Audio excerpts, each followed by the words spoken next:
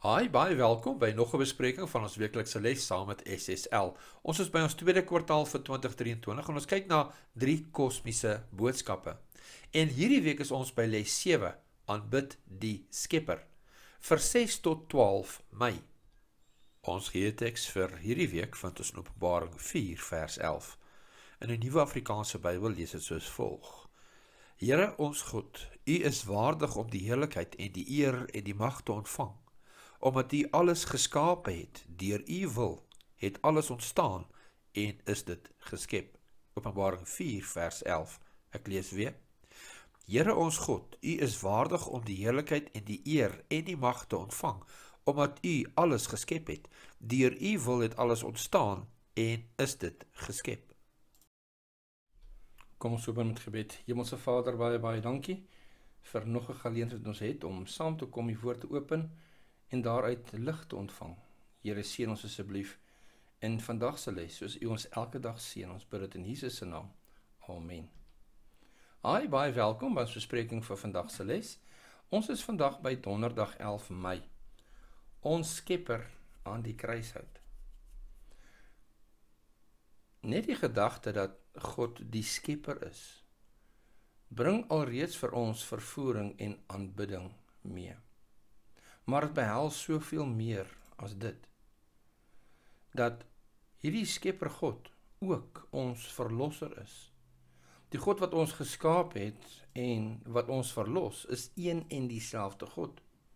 Hierdie selfde God wat gesê het laat ons mense maak na ons beeld, na ons gelykenis in Genesis 1 vers 26 is dieselfde een wat in Matteus 27 vers 46 uitgeroep het: Eli Eli lama sabachthani. Oftewel, my God, my God, waarom het U my verlaat? Beslis 'n rede om God te vrees en aan hom die eer te gee en te aanbid. Wat is die gepaste reaksie vir gefalle wesens soos ons? Hoe gemaak? Die eerste engel in Openbaring 14 sê vir ons presies wat ons moet doen. Vrees God en gee hom heerlikheid want die uur van sy oordeel het gekom en aanbid hom wat die hemel en die aarde en die see en die waterfonteine gemaak het. Openbaring 14 vers 7. Nou vra die les vir ons. Ons moet uh, kyk na Johannes 19 vers 16 tot 30. Johannes se boekstawing van die kruisiging van Jesus. En dan sê dit Dink intussen aan die Bybelverse wat ons tot dusver bekyk het, waarin Jesus as Skepper uitgebeeld word. Die Skepper God, oor wie Paulus soos volg geskryf het in Kolossense 1:16, God het deur hom alles geskep wat in die hemel en op aarde is, alles wat gesien kan word en alles wat nie gesien kan word nie. Konings, heersers, maghebbers, gesagvoerders, alles is deur hom en vir hom geskep. Hoe reageer 'n mens op hierdie wonderlike liefdesgebaar van bo? Kom ons kyk Johannes 19 vanaf vers 16 tot 30. Dis nou 'n hele stuk om te lees, maar kom ons kyk daarna. Johannes 19 vanaf vers 16. Toe het hy hom dan aan hulle oorgegee om gekruisig te word en hulle het Jesus geneem en hom weggelei. En hy het sy kruis gedra en uitgegaan na die sogenaamde hoofskedel in Hebreëus Golgotha waar hulle hom gekruisig het en saam met hom twee ander een aan elke kant en Jesus in die middel. En Pilatus het ook 'n opskrif geskrywe en dit op die kruis gesit en daar was geskrywe Jesus die Nasareëner die koning van die Jode.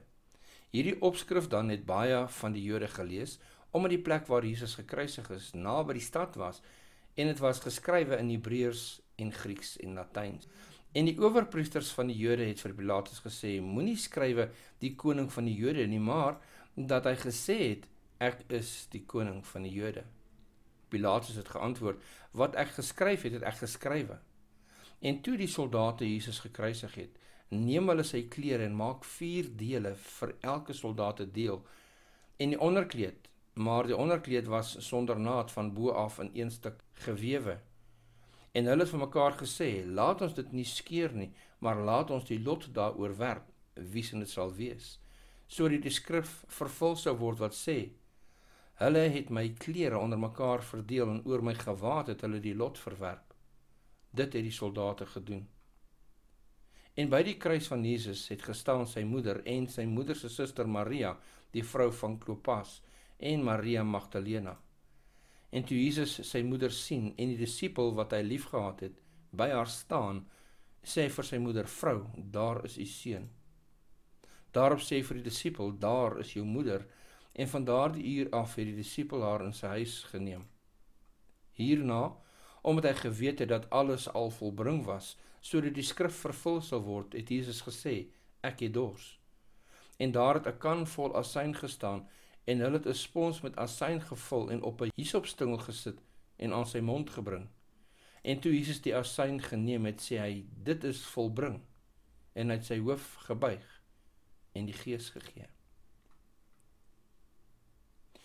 Hierdie eerste engel se oproep om die Skepper God te aanbid word gebring eers na die kruisiging van Jesus, nadat die heelal en Christus se volgelinge gesien en besef dat hierdie selfde God wat die hemel en die aarde en die see en die waterfonteine gemaak het, ook sy godgelyke bestaan tersyde gestel het. Die gestalte van 'n slaaf aangeneem het en aan mense gelyk geword het en toe hy as 'n mens verskyn het homself verder verneder het deur gehoorsaam te word tot die dood toe. Ja, die dood van die kruis. Filippense 2 vers 7 en 8. Wat 'n aanskouing. As jy Jesus moes geken het voor sy menswording, die almagtige Skepper God, die een wat gespreek het en dit is, nou aan die kruis sterwend. Geen wonder die hemelwesens aanbid hom ook nie. Maar wat nou van ons, van die mens? Ons enigste reaksie as vrygekooptes deur sy bloed is om hom as skepper en verlosser te aanbid. Ons vra aan die einde van die dag. Sommige mense meen dat die mens 'n gevalle wese 'n toevoeging tot Jesus se soendood aan die kruis te maak het. Waarom is dit in die lig van die kruis so 'n gevaarlike dwaling?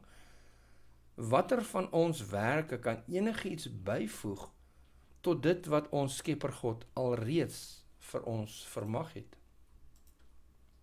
So wat dit basies vra hierso. Daar word geglo dat ons werke help met dit wat Jesus vir ons gedoen het in die kruis om ons te verlos. Nou enige een van ons wat al 'n pad met die Here stap en nader aan die Here kom besef, daar's niks goeds in ons nie. Geen van ons werke kan bydra tot ons verlossing nie. Dis slegs dit wat die Skepper God vir ons gedoen het. Deur mens te word en in ons plek te sterf. Daar's geen ander prys wat betaal kan word nie. Die Bybel sê duidelik vir ons dat geen engel in die heelal hierdie groot prys kon betaal nie.